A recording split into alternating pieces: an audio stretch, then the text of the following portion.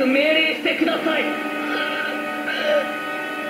どっちを攻撃するんですか？爆爆弾を止めろ！フリーフリー。